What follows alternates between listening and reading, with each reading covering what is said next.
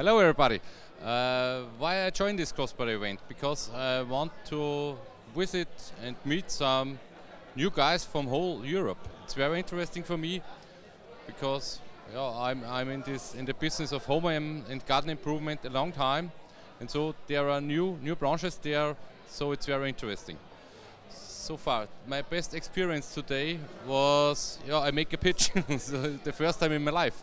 So this is really cool. I'm a little bit nervous before, but I think I, we, we all do, do that very good. I think so. Yeah, and what are challenges in the moment? Yeah, e-commerce is growing, so we must learn as company. Also, I must learn, and so we are normally in stationary retail. So I hope I can give some explanations to other companies, and yeah, we learn